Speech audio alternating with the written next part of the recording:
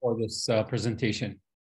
So what I'll be talking about uh, is an important topic for uh, research, obviously, and that is about writing manuscripts. Uh, I'll try to touch on things that you should be doing and things that you should avoid uh, doing while you are writing uh, a scientific manuscript. So first of all, why do we write? Um, and I think it's important to keep that in mind when we're writing manuscripts, uh, because that dictates how we write things. Uh, first of all, we write papers because we want to disseminate information. So we want the information to be known to the others. So that that dictate that it has to be simple, understandable, uh, logical. Uh, also uh, to share ideas, discoveries, perspective to the broader audience. Also, uh, sometimes we write manuscript as part of job requirement. Um, definitely, many of us work in research do it because of the professional or personal satisfaction.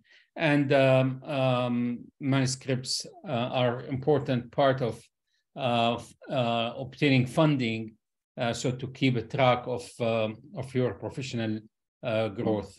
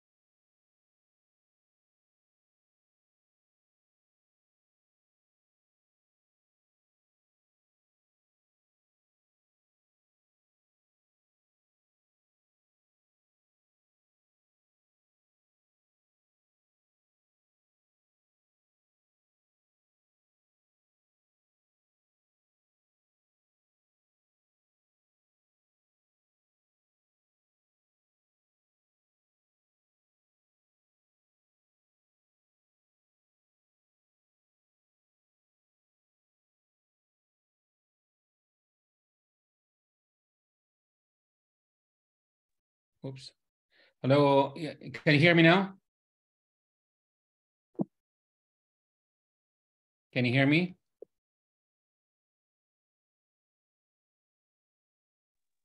Yes, Prop, you're clear. Yeah, it was muted, I think. Okay, sorry. So, uh, so what we'll I'll talk in this um, presentation about the uh, writing manuscripts and emphasize things that you should be done and things should not be done in writing manuscript. And before this, I think need to keep in mind what's objective of writing a paper. Uh, we write a paper because we want to disseminate information. And therefore, if you want to disseminate information, the information has to be clear, has to be logical, has to flow uh, properly. Uh, we need to share ideas, discoveries, perspective to broader audience. Um, we write papers because uh, sometimes this is part of our job requirement, uh, promotions, etc. Uh, many of us who do research do it because of um, personal or scientific satisfaction. And also writing paper is important to have a track record that is important for funding and grants. But writing paper doesn't start when you uh, write the first sentence. It really should start much earlier. Start with the pre-study preparation. So first, you should critically read and be familiar with similar papers on the similar topic, have the right question developed and the right hypothesis, uh, and uh, conduct your study at the highest scientific and ethical standards. So, uh, so the ethics is important. And sometimes uh, this one of the problems in, in some papers, we really need to indicate that the study has received the appropriate approvals, IRB, consent, registered in clinical trials if, if appropriate. Also be aware of certain misconducts in writing uh, papers. Uh, plagiarism is cutting, pasting from different sources. Falsification is to basically make up the data. Um, uh, and fabric fabrication is completely making up the data. Falsification, um, maybe filling gaps with inf information that is not correct. Authorship fraud is a paper has authors that have not, done, not have not done anything with the study, not related, and also not disclosing conflict of interest. So uh, that's also very important. Conflict of interest um, becoming um, uh, an area of focus, whether this conflict of interest can be uh, financial, commercial, or even sometimes intellectual.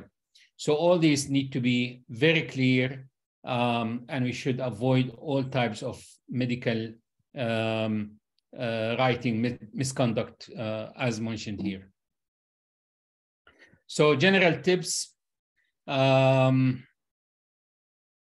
uh, the paper, try to, when you write, be patient-centered and not numbers-centered.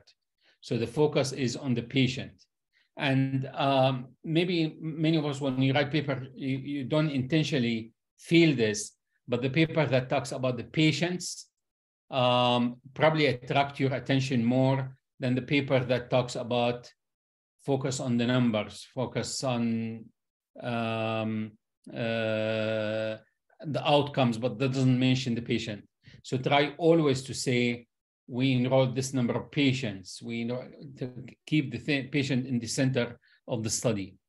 Also, I think avoid emphasis of statistical significance don't be trapped by p-values, please. So uh, having a p-value that looks significant is not by itself important. It is the clinical significance. So sometimes we see difference very, very tiny, uh, but statistically significant. People make a big deal out of it. And sometimes um, the opposite way, maybe did not reach statistical significance, but there is something important clinically and is uh, dismissed.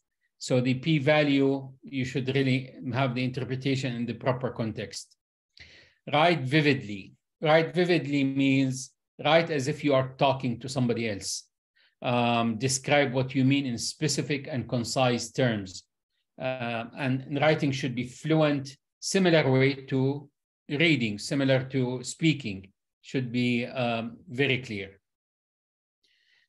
and write for the readers and not to please peer reviewers. When you write, the, the message sentences have to be clear. You put the reader um, in, the, in the center. Imagine a reader reading this sentence, whether he will understand it or not. So write as if you are talking to an informed colleague. Write as if you are explaining a new technique to an experienced research technician. So what are the parts of the of the manuscript? Uh, we start with the title, abstract, introduction, methods, results, discussion, and conclusion. So we're going to go through these uh, um, one by one. So the title. The title should be short and concise. And uh, different um, journals have different guidelines for, for titles, but generally short and concise title is important, should be easy to understand, and should give an accurate idea about the methodology and the content of the study. Um, poor title is a title that is misleading, try to sell a message that is not there, or non-specific, or use exact sentence sentences as in the text. So I selected a few papers uh, or titles um, just to illustrate the point. So for example, here, you read this title, you understand what this paper is about fungal infection associated with contaminated methylprednisolone injection. It really gives the full story. Even if you don't read the whole article, you understand what what's uh, the study is about. Fungal infections associated with contaminated methylprednisolone injections. So you know that there is fungal infection. You know that there is methylene, methylprednisolone injection. You know that the methylprednisolone, the study confirmed that these were contaminated and that the patients who got these got the fungal infection. So a lot of information actually in the title. The abstract is a summary of the study and it should, uh, should state the objectives clearly and concisely. Should be short, but uh, not to exclude key information and should demonstrate the findings that are important uh, and the study and how the study uh, and that the study was carefully done. Poor abstract is an abstract that is inconsistent with other parts of the manuscript. So sometimes we see uh, things that are written in the abstract, but they don't reflect what's in the paper, or what in the paper doesn't reflect what the manuscript. The numbers sometimes in the manuscript may not be consistent with the numbers in the uh, abstract. All these will reflect poor uh, abstract. Uh, using same sentences as on the body of the paper also is not a good idea. Try to use uh, different language. So this is the abstract of that uh, paper I mentioned about the contaminated methylprednisolone. You could see it. This is like 250 words, not, not long. It has multiple sections, background, methods, results, conclusions. So it's almost the same paper, but much shorter uh, version and it has to the it has the objective of the study. We initiated an investigation into fungal infection associated with injection of methylprednisolone acetate that was purchased from single com, uh, compounding pharmacy, for example. Okay, so the objective is there, uh, and the mm, so really summarize the whole paper.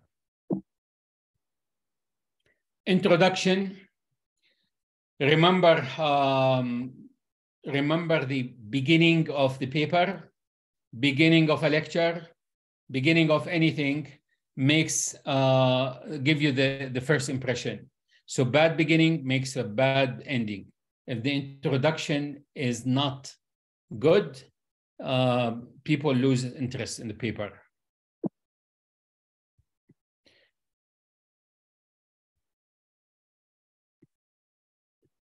So the beginning is the last chance the reader has to put your book down before they start to hate you for wasting their time and money. Is really the beginning. Uh, you you write the beginning, you you you'll be hooked into writing reading the rest, or you stop.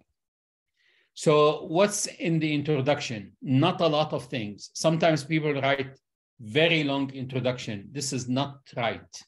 The introduction has a focus. It should indicate why the study is needed um, and what's the objective? Really, two sections why the study is needed and what's the objective of the study. So, why is it needed should be a summary of the previous work and why the present study is needed to be done. So, um, so let's take this injection of methylprednisolone. Was this ever been described before? Um, and why the study is needed? And then you describe the study objective.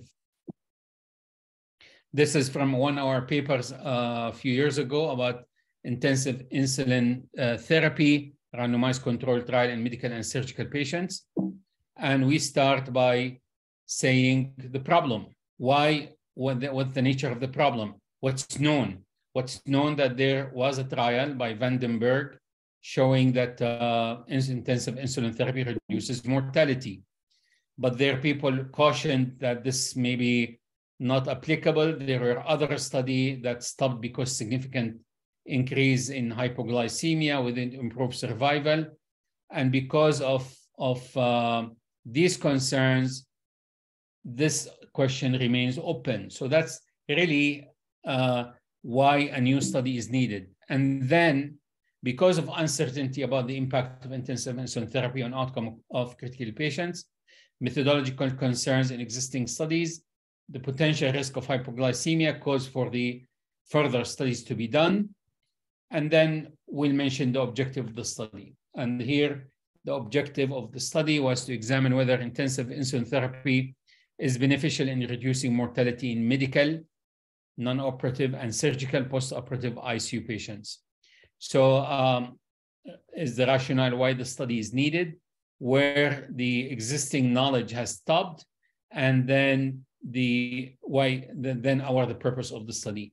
And you could see here the objective is a precise objective. It has the intervention, it has the population, it has the comparison, and it has the outcomes. The PICO follows the PICO. Okay, PICO format. So good introduction goes right to the essence of the problem in order to focus on the reader attention. So this introduction that I showed you, which is really brief, didn't say that hyperglycemia is bad and glucose is a problem and all this, and diabetes is common, and doesn't say all that. Just goes to the right. Uh, there is a study, the study showed reduction mortality. There is other study did not show reduction mortality. There were concerns about methodology. Therefore, a study is needed. Uh, and one of the common mistakes people write, they start to write almost like a review article in the introduction, which is uh, not the right thing to do. So uh, good introduction goes to the essence of the problem, provide adequate background information supported by the literature, uses references carefully. So you need to know what references to use and which ones you shouldn't use. So there are um, it really reflects how you know how much you know about the literature and defines terms that are used in the title as needed. So good introduction short, uh, and most of the introduction should be written in the present tense because it primarily reflects established knowledge. So it is what we know now, okay? What we know now. The objective uh, should be written um, in a manner uh, uh, analogous to a 15 second summary of patient case. So the, uh, the objective should be precise, and as I said, should follow the PICO format. Uh, we talked about this. So this is the, the uh, fungal infection. So here, the introduction, introduction is very brief. This is the introduction. And it has like one sentence, two sentences to explain the background information. And then the third sentence is objective. Goes direct to the topic. Poor introduction is an introduction that doesn't reflect the importance or the novelty or originality of the study. Not intriguing, boring, long, indirect, um, uh, the study question is vague or not specified. The uh, study questions, purpose, objective, and hypothesis are confused and not clear. All these will give bad introduction. So this editor says, uh, respond to somebody submit a paper. Dear contributor, thank you for submitting your story we uh, regret that it doesn't suit our present needs. If it ever does, we are in trouble. Methods. Methods, people don't take it seriously, but it is actually the most important part of the paper. The most important part of a paper. Remember, you are writing scientific paper so the greatest invention in the 19th century and the 20th and 20th is the invention of methods, having clear methods. This is methods is the experiment. This is what methods is how you did this study. So methods should describe the experimental design in enough detail that a competent, competent worker can repeat your experiment. So for the study in my opinion, as a as a uh, as a um, investigator and as a reviewer for journal, I could tell you, we make decision about accepting papers or refusing papers mainly based on the methods. For a study to be scientific, to have scientific merit, it should be reproducible. And to be reproducible, the method should give enough details. So a good reviewer would read the methods carefully. If there is serious doubt that the experiments could be repeated, the reviewer will recommend rejection of the manuscript, no matter how the results are, look great. So the method should give enough detail. Most of this section should be written in the past tense because the study is done. We conducted the study, we randomized patients, we gave this medication, etc. So good method section gives full details. Most of this section should be written in the past tense, should be organized in a meaningful way. Um, so what do we mean by meaningful? It should should follow a meaningful flow. So um, it should start, for example, by the setting. So uh, imagine you want to do experiment in a hospital. You need first the hospital, right? Then you need the patients. Then you need the inclusion exclusion criteria. Then you you talk about the intervention. Then you look at outcomes. Then you have the uh, data collection. Then you do the statistical analysis. It follows this logic. You should not describe randomization and then go to methods and then describe hospital. This will be confusing. So should follow a logical uh, flow. Um, describe all aspects of the study design, how the data was collected. Describe the data collection in detail. Who collected the data? What data was collected? Very specific. When, where, how, why. Define all variables. So if you'd say, we collected data about ventilator-associated pneumonia, you have to tell me how you defined ventilator-associated pneumonia. Uh, provide reproducible detail of statistical analysis this is how we did the analysis. We use this test. We did the multivariate analysis, including these variables, one, two, three, four, five, should be written in detail. So good method section will uh, describe the setting, setting meaning where the experiment was done. Subjects, uh, the patients, describe the patients, what the eligibility criteria, inclusion, exclusion criteria, what the procedures, uh, for example, uh, intensive insulin therapy versus conventional insulin therapy, high tidal volume versus low tidal volume, high driving pressure versus low driving pressure, neuromuscular blockers versus neuromuscular blockers should be described. described. Uh, outcomes, what are what is the primary outcome, what are the secondary outcomes, how was sample size, and the statistical methods. So stating where the study was done. We've conducted a clinical trial in 16 ICUs in Saudi Arabia. Uh, and the length of time covered by the set uh, by the study is done between March 2021 and uh, and April 2022. Uh, who are the subjects in the study? We enrolled critical patients with acute hypoxemic respiratory failure, um, etc. Subjects how we selected the patients, what are the inclusion criteria.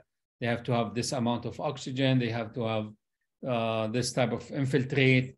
Exclusion criteria, we did not, we excluded this type of patients. We excluded this type of patients.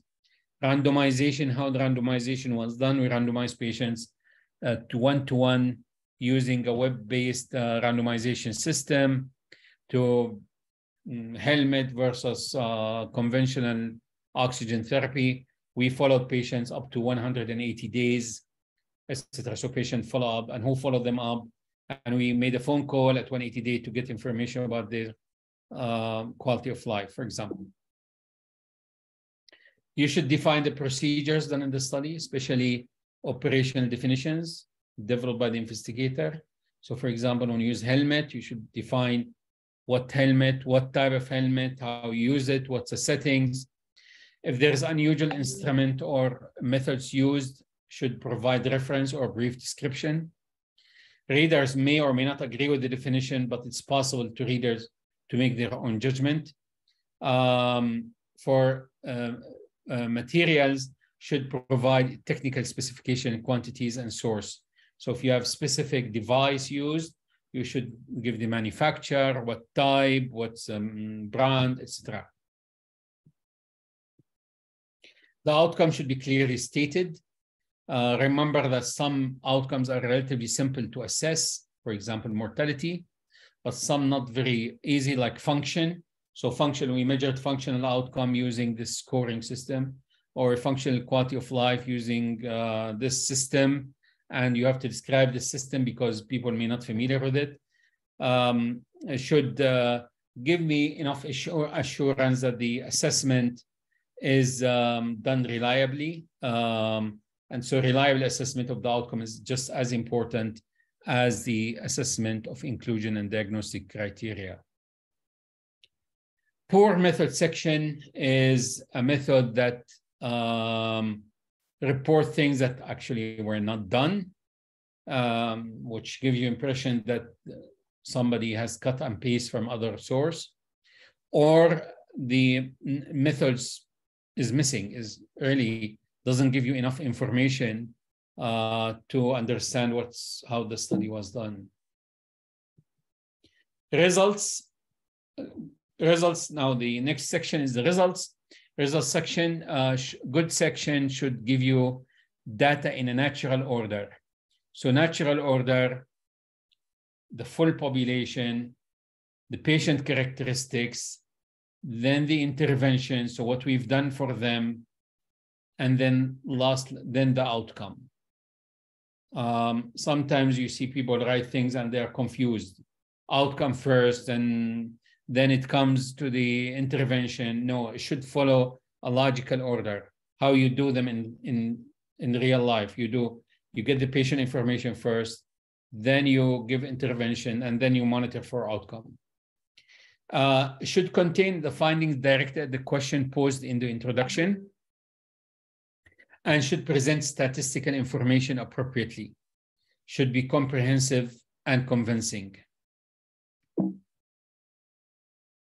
Good section prevent data in similar variables consistently. Um, uses well-designed tables, graphs, flowcharts, histograms, figures, uh, and cite and summarize it in the text. The, these uh, these uh, tables and graphs should be simple and self-explanatory and not repetition of the written text.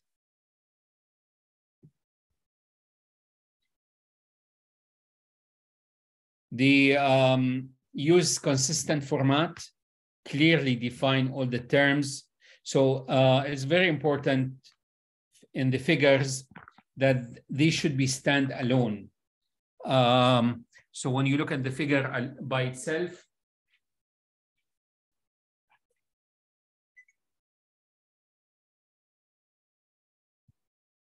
the figure should stand alone. When you look at it by itself, you are able to understand what the message this figure is giving. Um, and um, should have the units. Uh, these little things, but they are so important. Sometimes people miss them and you don't understand what's happening should have clearly written legends for each figure. The um, results also should provide schematic summary of the study, showing the number and disposition of patient each stage. So the flow diagram. So flow diagram, how many patients we screened, how many patients were included, how many patients were excluded, how many patients were randomized, how many patients received the intervention, how many patients had the outcome, and um, should provide all this information. So this is a flow diagram, this number of patients enrolled in a study. This is how many eligible, how many enrolled, how many underwent randomization to receive this. This is the uh, high flow versus control ventilation, and how many had the outcome uh, measured.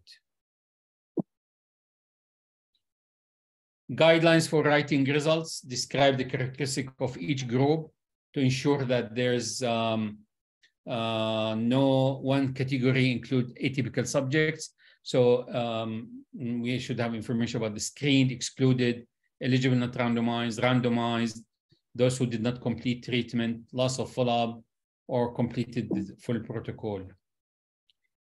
Uh, indicate how the sample uh, group represent the population as a whole, um, indicate if the allocation of patients or masking was successful, and describe the nature of follow-up. So we followed patients until one day. So for example, in our helmet paper about quality of life, and this is very important for long-term follow-up, you have to report how long the patients were followed up actually. So we reported how many uh, days after the enrollment patients were followed. uh, for observation based on judgment, provide assessment or agreement between the observers. We need also to report in the in the results section deviations or violations to the protocol, um, uh, side effects, adverse events, serious adverse events should all be reported. Outcomes, um, uh, reporting outcome, of course, is the most important part because this is what the study is about. So you reported as absolute change. So you report there were uh, um, this number of death in the first group and this number of death in the other group. Then you report the absolute change. How what's the difference between the two groups for the primary endpoint with 95% confidence interval. P-value should be reported for the primary analysis. Uh, the other p-values for, uh, for the rest of the outcome depend on your statistical analysis plan. Um, and uh, uh, unless, I mean, in, in certain journals, they require that you have uh, adjusted for multiple testing. Uh, otherwise, you don't report all the p-values. Poor results section is a section that doesn't review, give you the full results, either intentionally or without justification or unintentionally. Some people try to show the results partially and they think this is smart. No, I would tell them this is not smart at all. It's a big, uh, big problem. Uh, you should be transparent in reporting your results. Um, and uh, reviewers will, will pick it up very quickly. So um, not accounting for all the study subjects, you said that you enrolled 200 patients, but then when you report outcomes, you report 190, for example, or the numbers don't add up, or the numbers in paper are not consistent. So what's written in the text is different from what's in the abstract, what's in the table. Uh, so sometimes when you write papers, you make multiple edits and corrections you need to make sure that the numbers are consistent throughout the paper. Um, if there are patients categories, they should be adding up to 100%. Um, and if they don't add up, you should have a justification. So if you say I'm categorizing patients to um, medical and surgical patients, well, they should have add up to 100%. If this, these are the two categories um, diabetic, non-diabetic, the total should be the whole group, unless you have missing values. so how do you make sure that this happens? Really very important. I double check the uh, numbers so many times to ensure consistency across all the paper.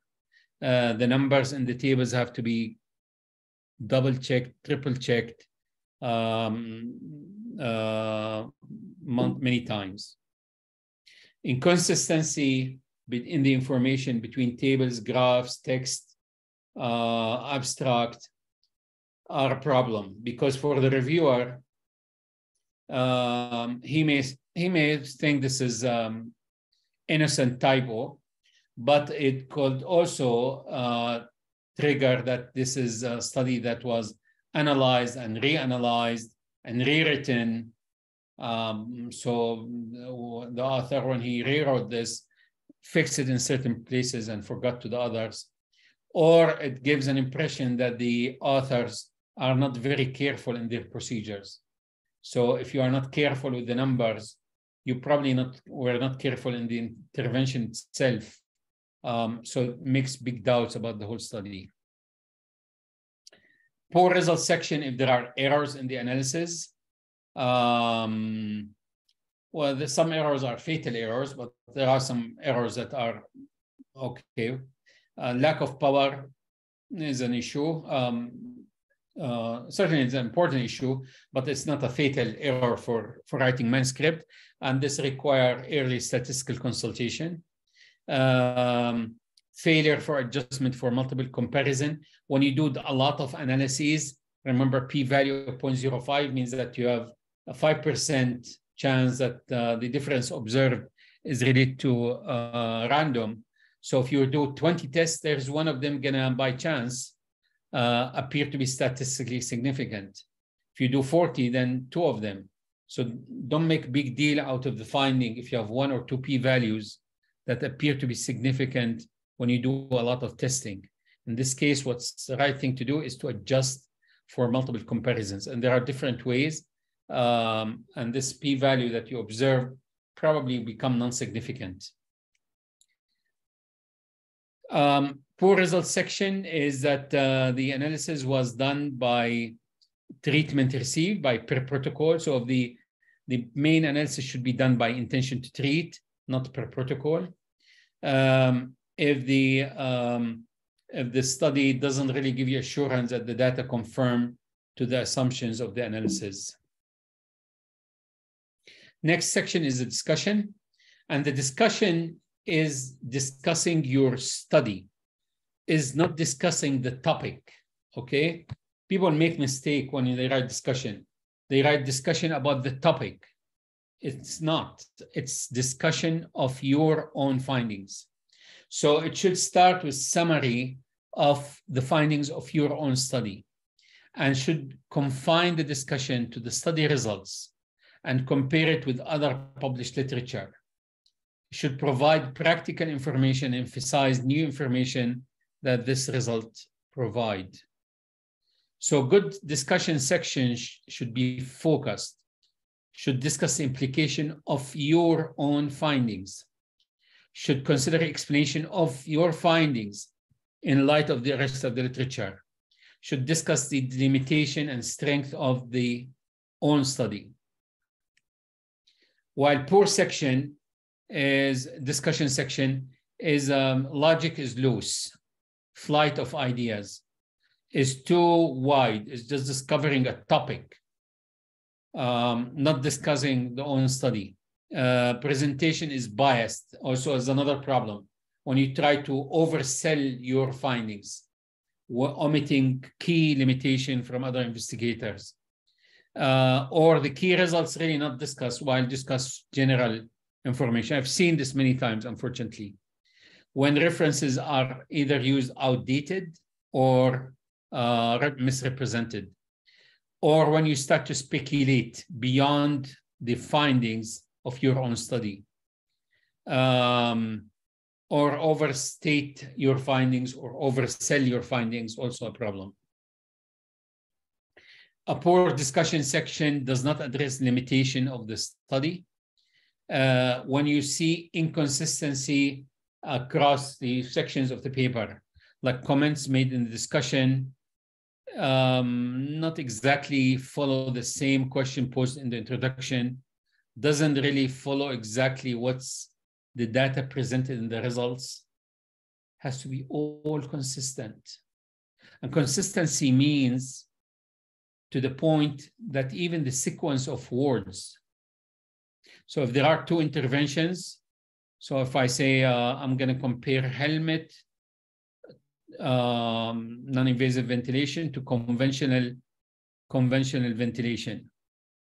Good writing means that you always mention helmet first and conventional oxygen therapy next.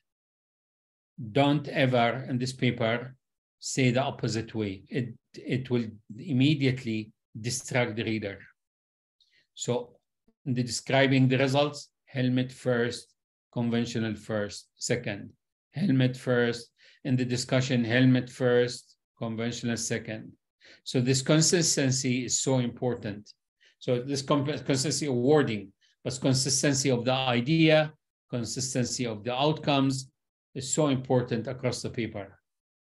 So one way always important when you write a paper is always start by writing the objective of the paper, which is the last sentence in the introduction, according to the PICO. And go back every time when you write your discussion and conclusion to the PICO to ensure that you are following the same um, logic. Do not extrapolate beyond the data analyzed in the study. So um, that will give a poor discussion section. So you start to, for example, if you start to have conclusion based on measurements not included in the study. You did not measure uh, functional outcome, and then you start to say, uh, you talk about functional outcome improved. Well, you didn't even measure it. A conclusion drawn that are no longer, uh, for a longer, require a longer period of follow-up than what you did in your study. Don't speculate this way. Don't speculate that the study is applicable to a group of patients are, that are do not represent what's are included in the study. All these are bad uh, extrapolations.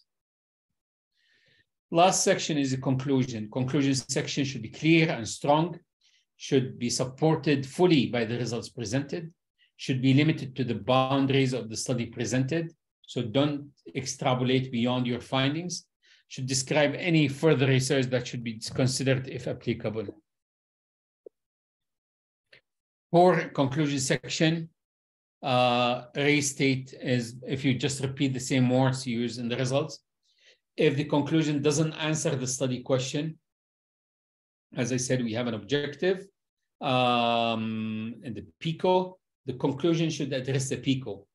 So we said that there is a risk of contaminated fungal infection related to contaminated methylprednisolone. Then the conclusion said we report uh, five cases of contaminated, or we did not find any evidence of fungal infection related to uh, methylprednisolone injection, for example, should address the same question you, you address in the objective. The conclusion should not uh, set limits to the, for application.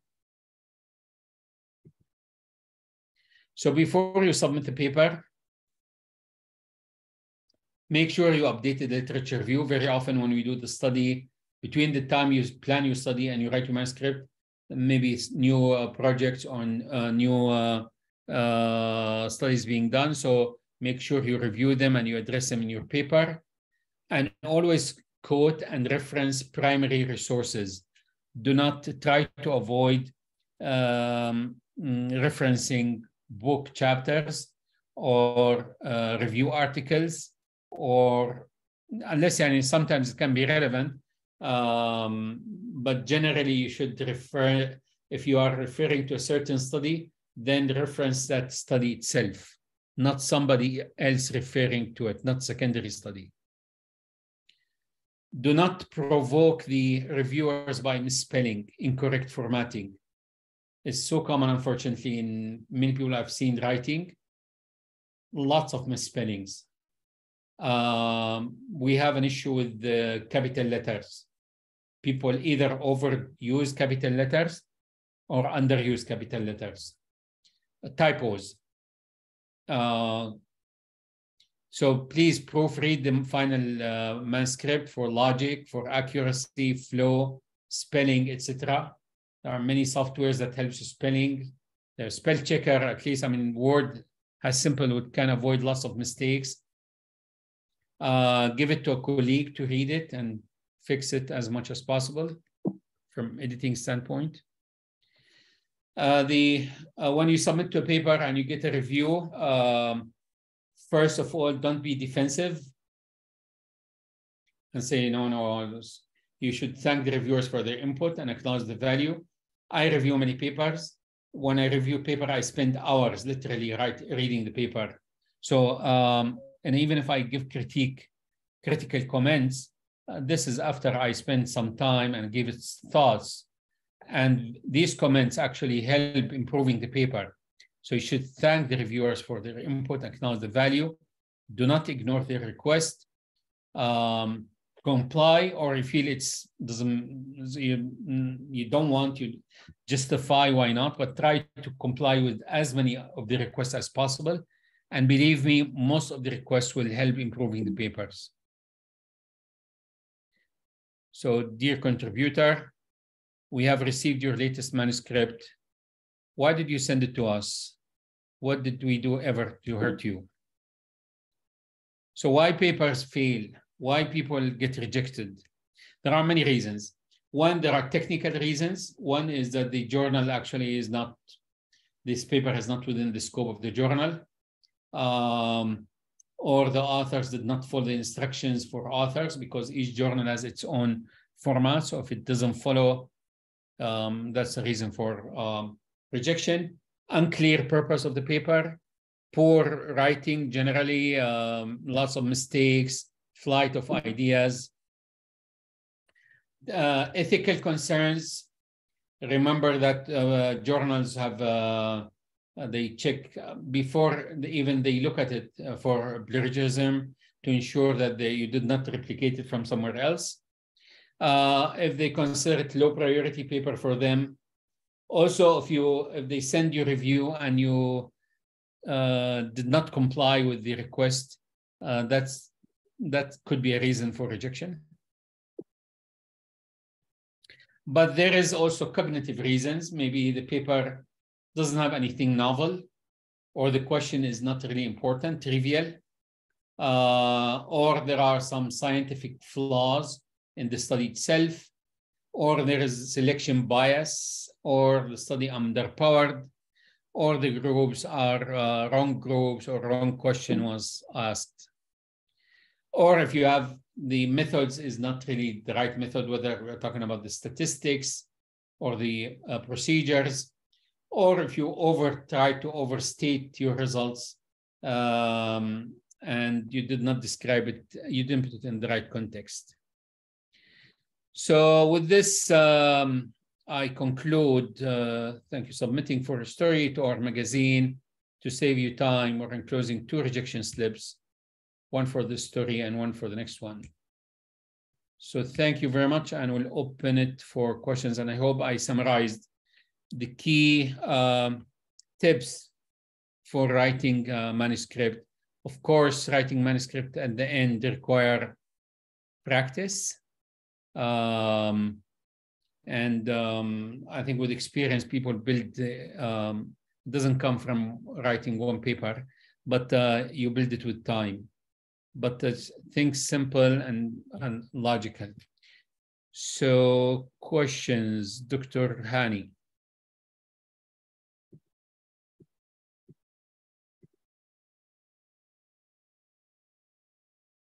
Dr. Hani and then Dr. Khalid. Uh, Rose, are you unmuting?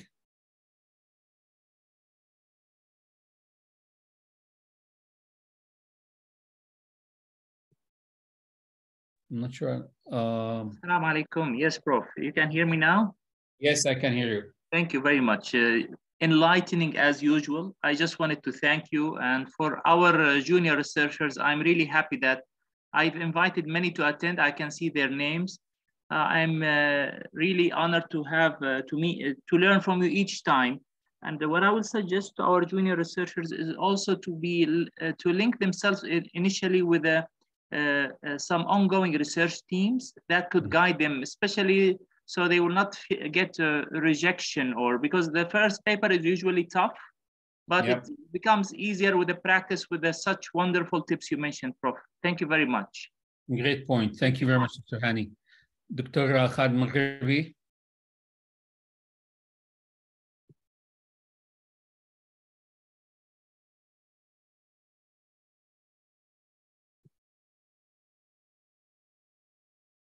Assalamu alaikum, Dr. Yassin. Thank you very much. Just, uh, I have a question, Dr. Yassin. If you can guide uh, us for the references, uh, what you do in terms of references, how you uh, rightly refer to the certain references, the arrangement, uh, what are the references you have to mention, uh, and how to refer to any reference with any information. if you guide us through this, please. So two parts of, thank you, Dr. Khalid, for this important question. Two parts for this. One is the technical part. I, I personally, uh, I, I, think it's always advised to use uh, one of the softwares for uh, uh references. I used EndNote, uh, but there other people use different ones because this helps managing the references uh, easier. Um, but the selection of references is important, which reference you select so it depends on the study question, obviously. So if I'm doing a study on mm, high tidal volume versus low tide or low tidal volume versus uh, high tidal volume, you really need to reference the key um, studies that address this question. And why is it important, for example, to study it now? For example, So uh, I would make sure that I refer to the key papers that people consider to be reference. Otherwise, um, and, and refer to the new systematic reviews. Always a good idea to review the most recent systematic reviews because systematic reviews, somebody has already reviewed the literature for this question and looked at what's the most recent. I don't know if that addressed your question. So the technical part, uh, I personally use EndNote. I find it uh, very useful. Uh, so if you add a reference in the middle, it will change all the numbers, uh, for example. And then if you change, submit to different paper, you can change the format easily. In the past, we used to type them. It's, it's really a lot of headache. Next uh, question. Does that answer your question to Khalid?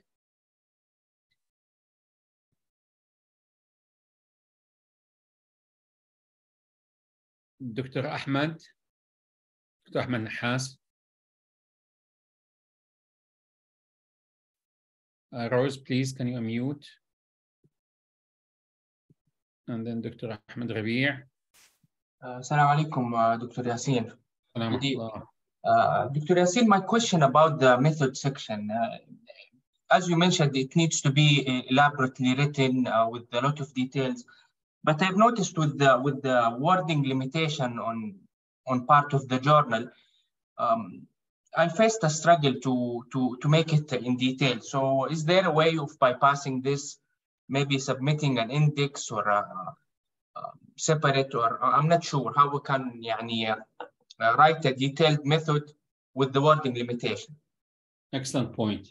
So for randomized control trials, for example, uh, the method section has to be really detailed and very often uh, we write it in separate paper, Aslan. Uh, you write the protocol and submit it for publication long time before the main manuscript.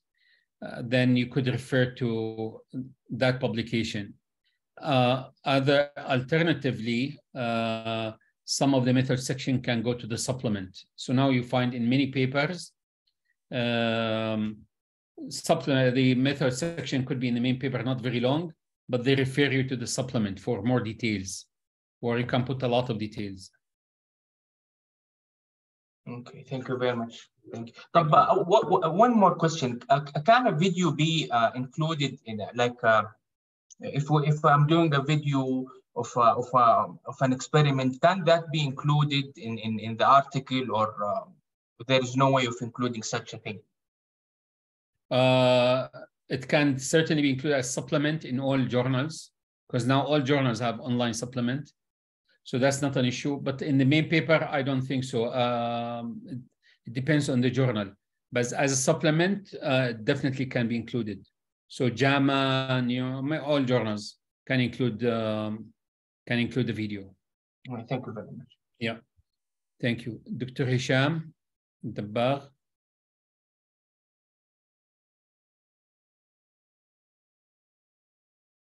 Or Dr. Hisham, you're muted, uh, Dr. Hisham.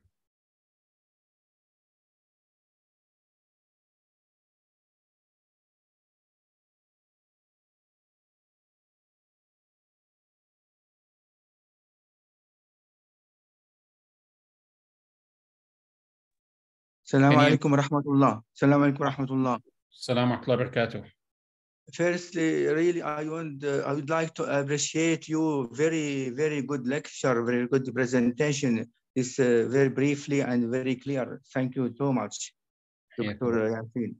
Uh, second, please, can you provide us with some of the journals for submission, with accredited journal for submission uh, papers? Because really, usually you are looking for good journals, but maybe we have no good accredited journal for this submission. Well, I think this depends on the topic. Uh, the, you know that there are hundreds and hundreds and maybe thousands now of uh, journals. Um, uh, so it depends on the topic and the interest of the journal.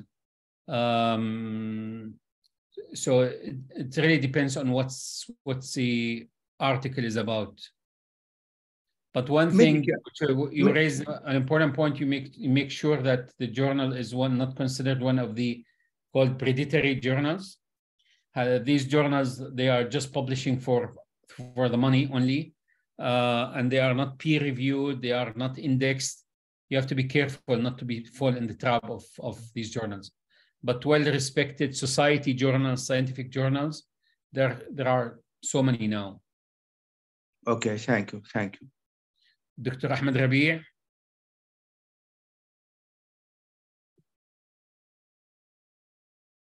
Dr. Ahmed.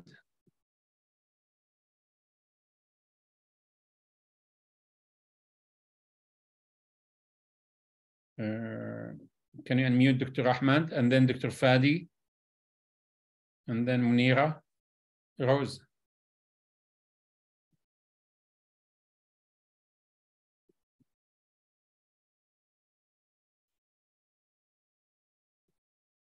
Uh, Rose, are you with us? Yeah, Dr. Fadi, and you're unmuted. All right, Assalamu alaikum. So thank you, Professor. Thank you very much again for this uh, comprehensive uh, review about writing manuscript. Fine. Uh, I have a question regarding the uh, reply to the reviewers. Sometimes we get stuck with the reviewers. Uh, well, actually, we noticed recently, uh, with my humble experience with the research, that some reviewers are not really uh, that much experience with uh, with the paper that you have submitted so then uh, that's why you get stuck with them with the, some replies for mm-hmm. example let's say like uh, regarding the methodology one of the uh, one of the times that we use the scale to assess something how to interpret that scale whether we interpret that scale as a dichotomous scale or we interpret it as a continuous so in the literature, there have been different ways in the uh, how to how to analyze that scale. So uh, my question is how to deal with such, I would say, a stubborn uh, reviewer, uh, especially regarding the uh, that such issues uh, related to the methodology. And sometimes, let's say, they ask for strange things, how to display the data in the tables or, or in the text uh, unusual uh, things they ask to include in the methodology. So would you follow them uh, in their uh, unusual uh, requests and how to deal with the stubborn reviewer? And thank you. Thank you, Professor. This great question. So um, first of all, I try to acknowledge their comment. And uh, if I think this is not the correct way, I'll provide explanation why not and with reference. So try to handle it uh, as scientific as possible without being defensive. Uh, and uh, you could always say, uh, we would like the, we, we thank the reviewer for this comment. We think this is an important point. However, uh, this uh, outcome is usually measured in other studies in this way and this reference, for example, in the study of blah, blah, blah, and you put the references. Um, we will uh, sometimes if you are really get stuck with the reviewer you could say we would like to have the uh, editor advice on this issue. So uh, try to get yourself out of the uh, emotion and uh, say we don't agree um, but we would like the advice of the editor uh, i had one paper some time ago where the reviewer continue to insist on requesting data that I simply don't have. And it's we acknowledged from the first time that we don't have it.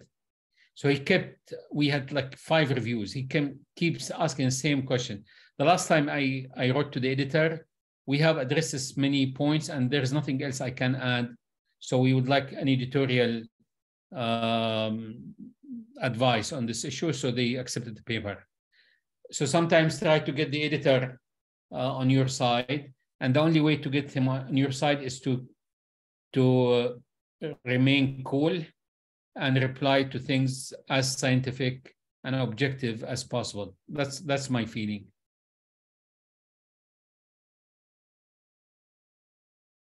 Dr. Ahmed Rabi'. Assalamu alaikum, Dr. Yazin. Uh, thank you for this valuable uh, lecture, actually.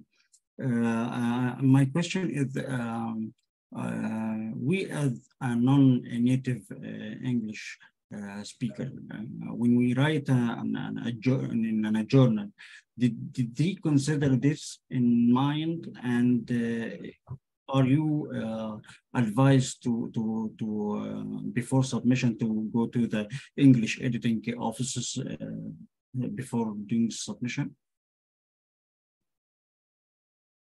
Um, so I personally don't go to editorial offices. I, I don't use editor. I, I use my own language. Um, and with time, I think the language has improved. Um, the journals do take that in consideration. Um, so very often we think that our language, uh, uh, your language, uh, Dr. Ahmed, could be as good as yes. many American uh, native language when they write scientific That's why when, when we go to the, as a, as a, as a to these offices, I, we find surprisingly that, that no any uh, major changes or uh, even minor between between uh, our writing and the uh, the review. So I, I don't know, but some journals they ask clearly to have uh, uh, yeah to have certificates uh, from from any office that you did English right, editing. I mean. Yeah, well, if it's requested by the journal, you're stuck. But most journals don't request it, and I, I personally don't routinely use editing office. And also the many journals, if you use an, a medical writer, they want you to um, uh, to disclose this. You should say who is, who edited the paper. Yes, exactly. Thank you. Yeah. Thank you. Dr. Ramnira? Can you unmute Dr. Ramnira? Assalamu alaikum. عليكم السلام ورحمة الله. مساء الخير دكتور شكرا لك على presentation. I have a couple of questions if, uh, if I may. Uh, regarding uh, the referencing and quoting from other researchers and book, uh, you mentioned that we should uh, quote or uh, refer to the original research, but sometimes the research are written in foreign language other than the English. So in this case, should we refer uh, to the, the original article, like in French or uh, in German? Uh, well, if it's that's the only way to do it, uh, that's the only reference in that topic. Um, yes, but I would think this is not a very common scenario, though you know, I mean, if the only study that is done is written in French, uh, I, I, have not came across this very often, because at least the abstract is in English. But yes, so the answer, the long, the short answer to your question, if it's written in another language, and that's the only way that exists, uh, yes, you should reference it then. But I think this you probably should be able to find something in English. I don't know if I answered your question. Do you have any specific uh, example? The problem is if you reference something in Chinese or in Korean, uh, the reviewers will not understand it. And then they they become perplexed what, what to do.